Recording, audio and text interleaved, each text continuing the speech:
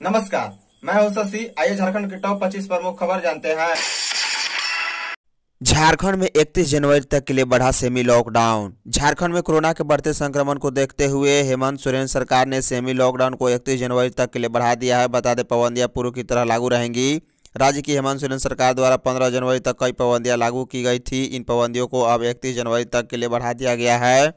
आपको बता दें कि शुक्रवार को ही आपदा प्रबंधन पदाधिकारी की बैठक होनी थी, लेकिन किन्हीं कारणों से वह बैठक स्थगित हो गई।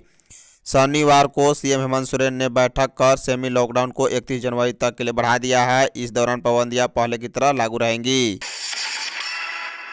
सेमी लॉकडाउन के दौरान इन चीज़ों पर लगे हैं प्रतिबंध। स्कूल, कॉलेज समेत अन्य शिक्षण संस्थान अगले आदेश तक के लिए बंद रहेंगे, लेकिन इन संस्थानों में 50 फ़ीसदी क्षमता के साथ प्रशासनिक कार्य होंगे। Stadium outdoor indoor park gym zoo swimming pool पर्यटन स्थल बंद रहेंगे। मॉल रेस्टोरेंट बैकवेट हॉल और सिनेमा हॉल 50 फ़ीसदी क्षमता के साथ संचालित होंगे। दुकानें रात आठ बजे तक ही खुली रहेंगी। सिर्फ़ बार रेस्टोरेंट और दवाई दुकान नॉर्मल टाइम तक खुले रहेंगे। सरकारी और निजी संस्थानों में 50 प्रतिशत क्षमता पर काम होगा। बायोमेट्रिक सिस्टम बंद होगा। हॉट और बाज़ार सोशल डिस्टेंसिंग के साथ खुले रहेंगे। वहीं शादी और अंत्योष्टि में सौ लोगों को ही शामिल होने की अनुमति है। आज से मौसम होगा सामान्य। झारखंड में रविवार से मौसम सामान्य होगा। पिछले पाँच दिनों से राज्य में साइक्लोनिक सर्कुलेशन की वजह से मौसम में आए बदलाव से आमजन को थोड़ी राहत मिलेगी। सिस्टम के कमज़ोर होने की वजह से राज्य के ऊपरी हिस्से में छाए बादल छटने लगेंगे और मौसम शुष्क होगा। बता दें, आसमान साफ़ होने से खिली धूप मिलेगी। इसके साथ ही रात के तापमान में दो से चार डिग्री सेल्सियस गिरावट आएगी। इससे शाम में कनकनी बढ़ेगी। मौसम केंद्र के वैज्ञानिक के मुताबिक शनिवार को राज्य के दक्षिणी एवं मध्य भाग में कई स्थान पर हल्के से मध्य की बारिश हुई है। युवाओं को रोज़गार देने के लिए कैबिनेट में दस हज़ार नौकरी पर लग सकती है मुहर। युवाओं को रोज़गार देने को लेकर हेमंत सोरेन सरकार रेस है। बता दें, नियुक्ति नियमावली में संशोधन के बाद विभिन्न विभागों में नियुक्तियों का रास्ता साफ़ हो गया है। बुधवार को होने वाली राज्य कैबिनेट की बैठक में दस हज़ार नौकरी देने के निर्णय पर मुहर लगाने की उम्मीद है। बता दें, अभी तक की तैयारियों के अनुसार सरकार आम लोगों को राहत और रोज़गार देने वाली कई निर्णयों को ज़मीन पर उतारेगी और कैबिनेट में इससे संबंधित कई प्रस्ताव आने वाला है। सूत्रों के अनुसार 19 जनवरी 2022 को होने वाली कैबिनेट की बैठक के लिए प्रस्तावों की संख्या 40 से अधिक हो सकती है, जिनमें रोज़गार के अवसर मुहैया कराने वाले प्रस्ताव प्रमुख हैं। बता दें, माध्यमिक शिक्षक, प्लस टू शिक्षक और कई प्रकार की नौकरियों के लिए नियमावली को संशोधित किया जा चुका है और अब इसे कैबिनेट से स्वीकृति मिल जाएगी। माना जा रहा है कि अब तक जितनी नियमावली को स्वीकृति मिल गई है, उसके हिसाब से दस हज़ार के करीब नौकरियों का मार्ग प्रशस्त हो रहा है। झारखंड में ओमिक्रोन के एक साथ चौदह मामले मिले, हो जाइए सतर्क। झारखंड में कोरोना का वर्तमान संक्रमण ओमिक्रोन की वजह से ही हो रहा था। बता दें, राज्य में पहली बार कोरोना के इस वेरिएंट के होने की पुष्टि हुई है। कुल चौदह सैंपल में ओमिक्रोन मिला है। बता दें, रिम्स से भुवनेश्वर स्थित आईएलएस में भेजे गए सैंपल की हुई जीनोम सीक्वेंसिंग में इतने सैंपल में ओमिक्रोन होने का पता चला है। बता दें, रिम्स से इसी माह तीन जनवरी को कुल सतासी सैंपल जीनोम सीक्वेंसिंग के लिए भुवनेश्वर भेजे गए थे। इसमें से सैंतालीस सैंपल की जीनोम सीक्वेंसिंग हुई। शनिवार को शाम में इसकी रिपोर्ट आई, जिसमें चौदह सैंपल में ओमिक्रॉन होने का पता चला है। इस तरह लगभग 30 प्रतिशत सैंपल में ओमिक्रॉन होने की पुष्टि हुई है। झारखंड पंचायत चुनाव में देरी, सरकार की मंशा पर सवाल, दीपक प्रकाश। भाजपा के प्रदेश अध्यक्ष दीपक प्रकाश ने पंचायत चुनाव को लेकर राज्य सरकार पर टाल मटोल का आरोप लगाया है। दीपक प्रकाश ने कहा है कि पंचायत चुनाव कराने को लेकर राज्य सरकार की मंशा साफ़ नहीं है। पंचायत चुनाव नहीं कराकर राज्य सरकार ग्रामीण विकास कार्यों को बाधित कर रही है। चुनाव नहीं होने से मनरेगा में लोगों को काम नहीं मिल पा रहा, जिस कारण राज्य में तेज़ी से पलायन बढ़ रहा है। दीपक प्रकाश ने कहा कि राज्य की सरकार गाँव गिराव के जमीनी मुद्दों से मुँह चुरा रही है। उसे डर है कि पंचायत चुनाव होंगे तो लोग झामुमो कांग्रेस और रायत की सरकार को ज़बरदस्त झटका देंगे। आईआईटी धनबाद के छात्र अभिनव को गूगल ने दिया छप्पन लाख का पैकेज। आईआईटी आईएसएम धनबाद के एक छात्र को गूगल ने छप्पन लाख रुपए सालाना पे पैकेज ऑफ़र किया है। बता दें, dual degree computer science engineering का छात्र अभिनव झा को यह ऑफ़र ऑफ़ कैंपस में मिला है। यह चालू सत्र में अब तक का दूसरा सर्वाधिक पे पैकेज है।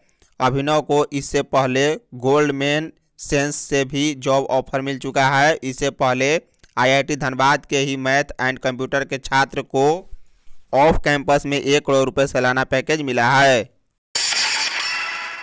ड्रॉप आउट बच्चों की पहचान के लिए हाउस होल्ड सर्वे के लिए सहयोग करेंगे डीसी। शिक्षा विभाग ने सभी जिलों के उपायुक्तों से हाउस होल्ड सर्वे के लिए सहयोग की अपील की है। इसके लिए झारखंड शिक्षा परियोजना परिषद की राज्य परियोजना निदेशक किरण कुमारी पासी ने पत्र लिखा है।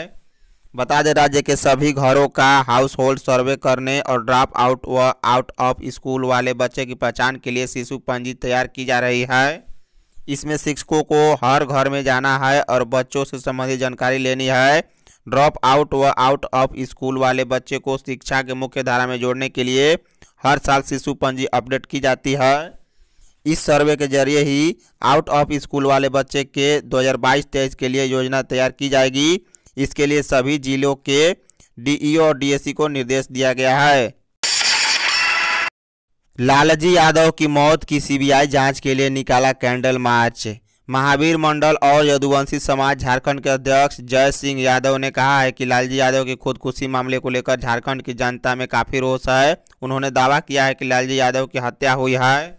उन्होंने कहा कि पलामू प्रशासन के खिलाफ जनता लगातार आवाज़ उठा रही है। पलामू के एसपी, डीएसपी को बर्खास्त करने की मांग लगातार झारखंड सरकार से की जा रही है। उन्होंने कहा कि झारखंड के कई शहरों में लालजी के समर्थन में जुलूस और कैंडल मार्च निकाला जा रहा है। झारखंड में शुक्रवार को सैंतीस सौ उनचास मरीज़ मिले, जबकि 2807 मरीज़ स्वस्थ भी हुए हैं। झारखंड में शुक्रवार के आंकड़े के अनुसार कुल एक्टिव केस की संख्या तैतीस हज़ार एक सौ बानवे है। भारत में दो लाख छियालीस हज़ार तीन सौ पचपन नए केस मिले हैं, जबकि एक लाख उनतीस हज़ार पाँच सौ छियालीस मरीज़ स्वस्थ हुए। भारत में कुल एक्टिव केस की संख्या पंद्रह लाख चौंतीस हज़ार तीन सौ दस है। झारखंड के आज का कोरोना अपडेट के लिए शाम पाँच बजे का न्यूज़ देखना ना भूले। बेरोजगारी, भत्ता की राशि झारखंड सरकार ने वापस मंगवा ली गढ़वा के युवा बेरोजगारों के बीच बेरोजगारी, भत्ते के तौर पर बांटने के लिए भेजी गई राशि झारखंड सरकार ने वापस मंगा ली है। बता दें कि विधानसभा चुनाव के दौरान बेरोजगारी, भत्ता दिए जाने का वादा मुख्यमंत्री हेमंत सोरेन ने जनता से किया था। अपने इस चुनावी वादे को पूरा करने के लिए पिछले महीने राज्य सरकार ने राज्य भर के लिए लगभग बहत्तर करोड़ रुपये जारी किए थे। गढ़वा के पास भी इस मद में चार करोड़ बहत्तर हज़ार रुपये आए पर सरकार ने महीने भर के भीतर यह राशि वापस मंगवा ली। इस बारे में श्रम विभाग के बड़ा बाबू अनिरुद्ध सिंह के मुताबिक सरकार ने बेरोजगारों के लिए जो बेरोजगारी भत्ता की राशि चार करोड़ बहत्तर लाख भेजी थी, उसे वापस मंगा ली है। श्रम विभाग ने यह राशि वापस भी कर दी है। झारखंड के शहीद कुंदन ओझा को सेना प्रमुख ने शहीद के पत्नी को दिया सेना मेडल। भारत, चीन सीमा की गलवान घाटी में चीनी सैनिकों के साथ हुई हिंसक झड़प में शहीद हुए झारखंड के साहेबगंज ज़िले के लाल मिर्ज़ा चौकी डिहारी गाँव निवासी कुंदन कुमार ओझा को थल सेना दिवस के अवसर पर शनिवार को दिल्ली स्थित इंडियन आर्मी हेडक्वार्टर में हुई कार्यक्रम में सेना मेडल देकर सम्मानित किया गया। बता दें, शहीद कुंदन कुमार ओझा की पत्नी नम्रता ओझा को सेना प्रमुख जनरल मनोज मुकुंद नरवणे ने सेना मेडल देकर सम्मानित किया।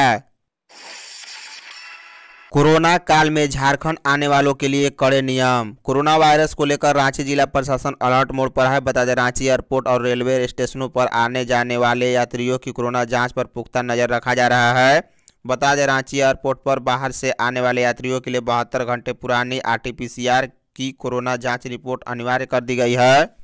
जो यात्री बिना आरटीपीसीआर की रिपोर्ट के रांची एयरपोर्ट पर उतर रहे हैं, उसकी जाँच कराई जा रही है। यही हाल रांची और हटिया रेलवे स्टेशन का भी है। चतरा में जल्द शुरू होगा पावर ग्रिड। लंबे समय तक बिजली की किल्लत झेलने वाले चतरा जिला का भविष्य बिजली के मामले में काफ़ी उज्जवल होने वाला है। बता दें, भविष्य में यह जिला 320 मेगावाट बिजली की क्षमता वाला जिला बन जाएगा। वर्तमान समय में चतरा 80 मेगावाट बिजली की खपत कर सकता है। बता दें, सिमरिया तथा हंटरगंज मिनी पावर ग्रिड का संचालन शुरू होने के बाद 240 मेगावाट बिजली की क्षमता ज़िले में और बढ़ जाएगी। ई श्रम कार्ड के नाम पर जमकर हो रही है धांधली। हजारीबाग प्रखंड में 50 सीएससी सेंटर संचालित हैं, जहाँ इन दिनों ई श्रम कार्ड बनाने को लेकर ग्रामीणों की भीड़ लगातार उमड़ रही है। बता दें, सीएससी संचालकों को एक रजिस्ट्रेशन के बदले सरकार द्वारा उनके खाते में 16 से 20 रुपए मिलता है।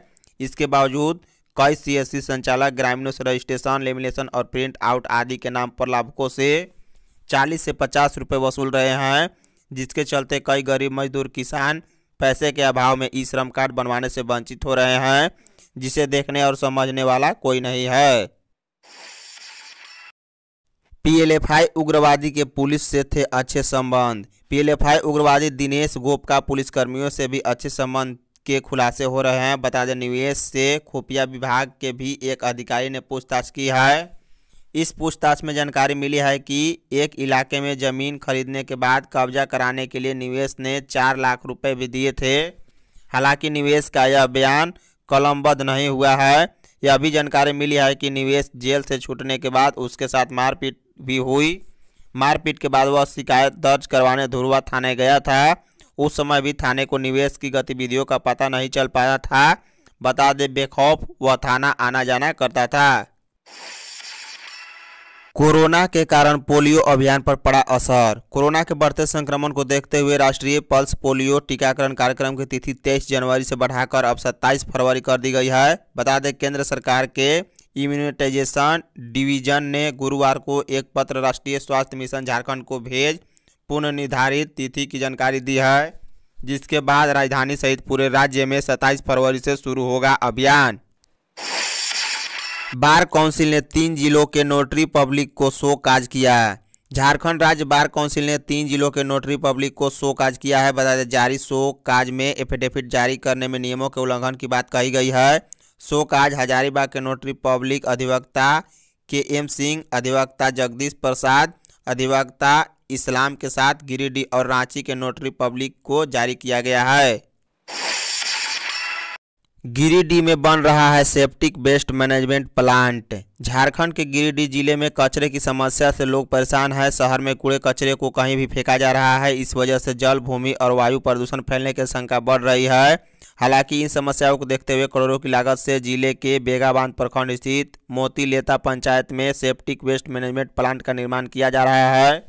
इसका मुख्य उद्देश्य शहर की साफ़ सफ़ाई से निकले कचरे को प्रबंधन कर जलवायु और भूमि प्रदूषण को फैलने से रोकना है। सीएम हेमंत के हाथों मिला चेक, अधिकारी कर रहे हैं खेल। झारखंड में योजना के नाम पर धोखा देने का खेल चल रहा है। बता दें, लाभुक सरकार की योजना मिलने के बाद भी खुद को ठगा हुआ महसूस कर रहे हैं। हैरान करने वाली बात यह है कि मुख्यमंत्री हेमंत सोरेन के हाथों वितरित की गई योजना के बावजूद लाभुकों के हाथ खाली हैं। बता दें, मुख्यमंत्री रोज़गार सृजन योजना के तहत लाभुकों को हेमंत सोरेन के हाथों मिली पचास हज़ार रुपये के डमी चेक की क्या है हकीकत, इस खास रिपोर्ट में समझ जाएँगे। बता दें, मुख्यमंत्री रोज़गार सृजन योजना को लेकर हेमंत सोरेन सरकार हर दिन नए दावे कर रही है। योजना के तहत रोज़गार के लिए दी जाने वाली राशि से भविष्य को संवारने का दावा किया जा रहा है। आपके अधिकार, आपकी सरकार, आपके द्वारा कार्यक्रम में मुख्यमंत्री रोज़गार सृजन के तहत कई नौजवान लाभकों को पचास हज़ार रुपये का चेक बांटा गया पर सरकारी चेक कैश हो पाएँगे। लाभकों को इस राशि का लाभ मिलेगा, यह बात उठता है। सबर आदिम जनजाति की पाँच लड़कियों को नब्बे हज़ार से छह लाख में बेचा।